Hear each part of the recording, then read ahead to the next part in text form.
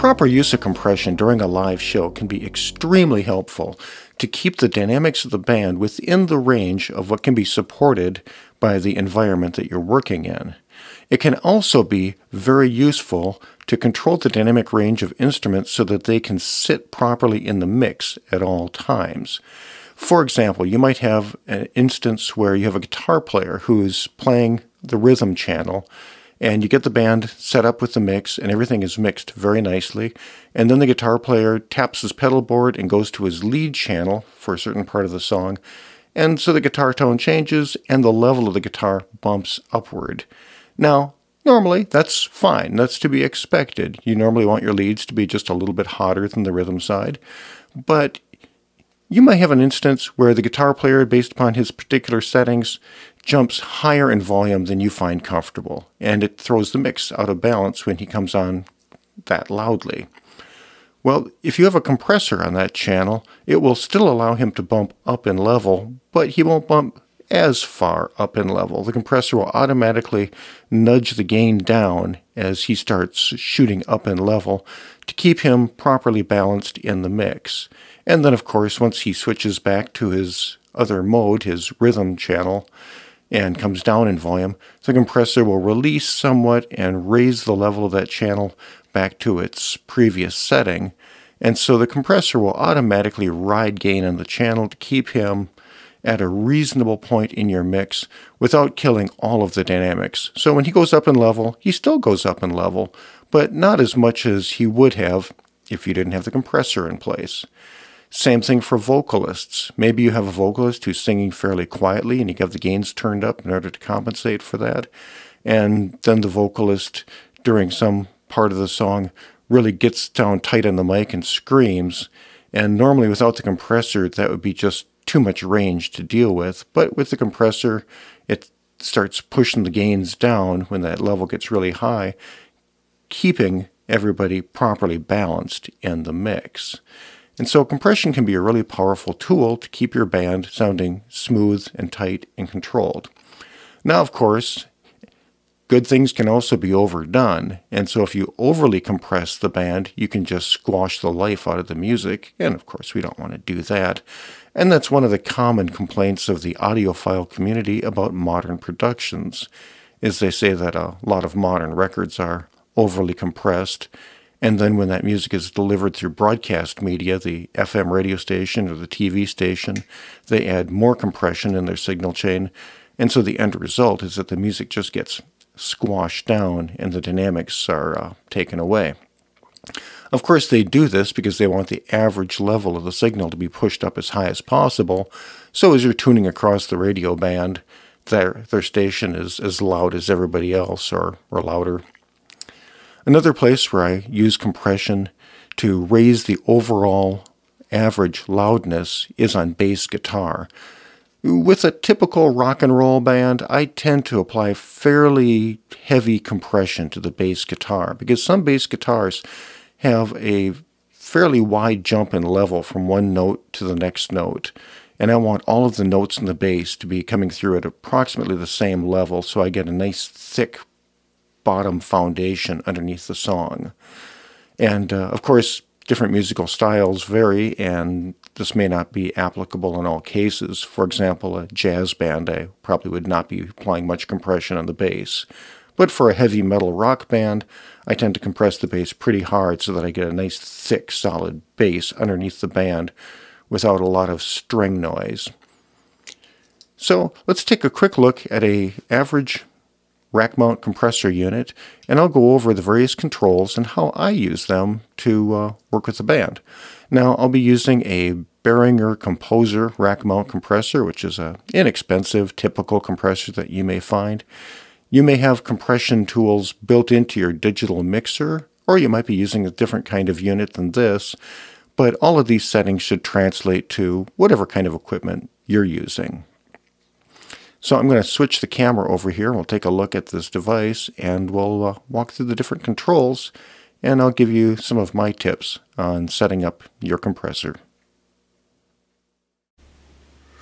Here we have a typical rack mount compressor. This is a Behringer Composer, an inexpensive rack mount compressor that you are likely to find. You might be using something different. Chances are you're probably using a compressor that's part of your digital mixing board. And regardless of what kind of equipment you're using, these controls should be reflected in your compressor as well. You may have some additional features in your compressor, but these are the essential controls that control the parameters of the compression. So let's take a look at what we have here. The first control that we have is our threshold control. And this controls the how loud the signal has to be before the compressor takes action upon it. And so if I was to set the threshold control very high, now only signals that are louder than where this is set would uh, enable the compressor. As you can see, when this is set very high, my signal level is below that point and the compressor is not doing any compression whatsoever. It's just passing the signal straight through the box without any modification whatsoever. But as the threshold control is set downward, I come down to a certain point, now my input signal is louder than the threshold that I have set, and the compressor starts to take some action to reduce the gain. Normally what I would do is I would set up my compression parameters here for the uh, um, compression ratio and speed, which I'll get into in just a second, and I will then adjust the threshold control so I'm getting the amount of compression that I desire. If I'm doing typical compression to try to control vocal levels or guitar levels, and I want the compressor to be active all of the time and just sort of ride gain on it and keep things somewhat compressed at all times and then really take action when things start getting really loud, I will typically set my threshold to be about minus 6 dB. If I want really tight control on the signal, I might push it as much as minus 10 dB. So that means that the compressor is reducing the amount of gain on that channel by 10 dB at most times. And uh, if the signal gets a little bit quieter, then the compression will release and give me some room to move. But beyond about 10 dB, that's starting to have a, a lot of control on that channel, and it may be audible. So usually, like I say, typically I ride 6 dB of compression, maybe 10 dB if I really want tight control.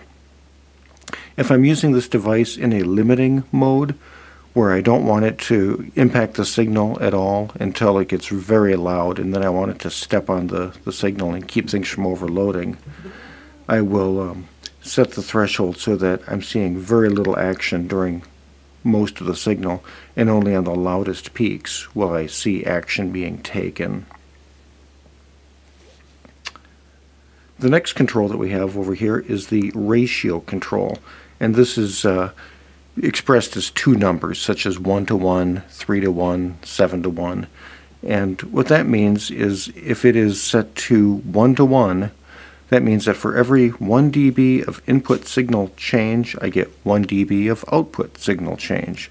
Or 10 dB of input signal change would be 10 dB of output signal change if the control was set all the way down to 1 to 1. And so that would mean that the output reflects the input exactly and no compression is happening. Basically, with a 1 to 1 ratio all the way down here, I have disabled the compressor. As I bring this control up, let's say 3 to 1, that means for every 3 dB of input signal change, the input signal gets 3 dB louder than it was a moment ago, the compressor will allow 1 dB of output change. Or if I had 6 dB of input change, then I'd get 2 dB of output change at a 3 to 1 ratio. Now I normally run this ratio control at 3 to 1, 5 to 1, maybe 7 to 1. 3 to 1 is what I would consider to be fairly light-handed compression. If I'm dealing with a singer or a guitar player who's got pretty good dynamic control and I just want to smooth them out a little tiny bit, 3 to 1 is probably a nice place to be. Maybe 4 to 1. If on the other hand I have a guitar player who has a pretty big jump in volume between their rhythm and lead channels and I want to smooth that out a little bit, I might push that up to 5 to 1, 7 to 1. And same thing with vocalists. If I have a singer who is really dynamic, sometimes they're almost whispering and other times they're kind of yelling, maybe 7 to 1. It's um, how much you want to really step on the signal and apply compression. If you go really high, you're going to just suck the dynamics out of the signal. If you're not high enough, you won't have enough compression control, and uh, what's the point, you know? the next set of controls right here control how fast the system comes in and reduces the volume on peaks that come through, and then after the signal recovers, how how long to wait before restoring volume back to its prior, prior location. So this is the attack time and this is the release time. So it's essentially how fast it's moving that volume fader up and down to compensate for the signal coming in. There's also a button right here called Auto, which you can engage, which would disable both of these controls and the device would then choose its own automatic speed settings uh, either based upon what the designer thinks is a good compromise or the program material. Personally, I almost never use auto. Now the speeds that I find are most effective in most situations is about 30 milliseconds of attack time and about 10 times that or 300 milliseconds or one third of a second release time. There's a thousand milliseconds in one second. And so 30 milliseconds attack, 300 milliseconds release tends to work pretty well for me for most vocalists, guitars, and general compression that you want to apply full time on an instrument to control its dynamics. Now, if you're using this for uh, some artistic purposes, for example, compressing drums where you want it to have relatively fast attack and um, and fast release because of the transient dynamic nature of the drums. You, you may adjust these to taste, but I find that 30 milliseconds attack and 300 milliseconds release is usually a pretty good starting point, and I move from there depending upon what I'm feeling. The final control here is the output level. Now, if uh, I've got the compressor set so that I'm somewhere around there and I'm reducing the gain by 6 dB on an average basis. Well, I've reduced the gain by 6 dB, so the signal that's coming in here is going to be 6 dB louder than the signal that's leaving. And I can use the output gain control to make up for the amount of compression eh, gain reduction that is occurring. So if this thing's taking out 6 dB, I can then take this output control and bump him back up by 6 dB to make up for that. And so that way the signal coming in and the signal going out is approximately at the same level, although the dynamics have been constrained by the compressor as it goes through the system. So that's the basic overview of the controls that you have right here. And like I say, no matter what kind of compressor you're using, be it uh, a different kind of outboard unit or the compressor on your digital mixing board, you should have these same controls and the effects should be similar. Some mixing boards will give you another control for timing, which is a hold control. So you have the attack, and then once the compressor takes effect, there's a hold, and then there's the release. And I usually use fairly short hold times. But uh, that should give you a quick overview as to the basic compression controls that you're likely to encounter. And then we'll talk about some of the other features on this particular rack mount unit because this rack mount unit actually has three compressors for each channel. And we'll go over that coming up next. Okay, we've slid the panel over just a little bit so you can see more controls. Now, you'll see that we have a peak limiter control right here and uh, if I dial this back we start to see the limiter taking effect so this again is a threshold control and signals that are above the threshold that I've set get limited. Now, all the limiter is, is another compressor. So this stage right here is a compressor, and this limiter is a whole nother compressor that's added after this one. And the peak limiter is simply a compressor that is set for a very high ratio. Now I was talking over here about between 3 to 1, 7 to 1 is my compression ratio for most things. Well, in a limiter, that compression ratio is probably 10 to 1 or higher. So at 10 to 1, that means 10 dB of input change only results in 1 dB of output change. And I'm operating the threshold control right here, which determines at which point that limiter kicks in and starts operating. As far as the timing of the limiter, they tend to be very fast, both fast attack and fast release. Now on this device, I don't have all of those controls on your mixing board or your compressor, you may have that whole set of compression parameter controls for your limiter, which is how tight the limiter goes, what its attack and release times are, and so forth, and what its threshold is. But like I mentioned on this device, all we have is a threshold control and the limiter parameters are kind of baked in. And so obviously the limiter is going to make sure that no really large signals are allowed to escape the device and, and get out. I'll turn the limiter off and so you can see that the peak light stops happening. Now on this device I've got a switch that runs in mono or stereo and the idea is that if it's in stereo mode both the left side and right side compressors are chained together and they apply equal gain reduction at the same time. They um, we'll, we'll take an average of the, the signals and operate in unison. Because if one side applied more gain reduction than the other one at a certain given point in time, the stereo image would be sliding left and right, and that would sound unnatural. So when you put these together in a stereo mode, it just means that whatever gain reduction is being applied, it gets applied equally to both channels, and they, they track each other in stereo mode. Okay, we're going to talk about one more feature, so I'm going to uh, take a quick pause here and uh, slide the unit over and we'll discuss the gating. Okay, and finally we have one more control, which is the expander or gate control. Now a compressor compresses things, an expander expands things, so they are kind of the opposite of each other. And that is that a gate is going to turn off the signal flow through this device, it's going to act like a, a gate on your fence. It's not going to let anything through unless it reaches a certain level. So really quiet signals get gated out and just muted. But once a signal gets to a certain level of loudness, then it will be able to push through the gate and come through the device.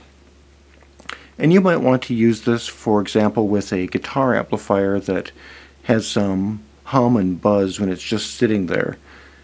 And of course, as soon as the guy starts playing his guitar, you hear the guitar sound loud and clear, and you don't really hear the background hum and buzz.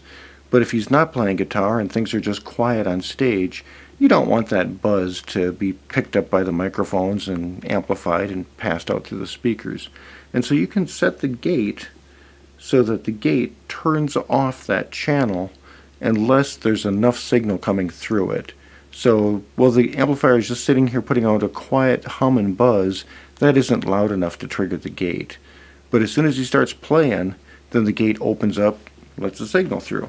On this device, I've only got a threshold control, and you can see I've got the gate turned up really high, so it would take an enormous signal in order to break through. So the gate is enabled, and um, that light's turned on, and not nothing is coming through the device.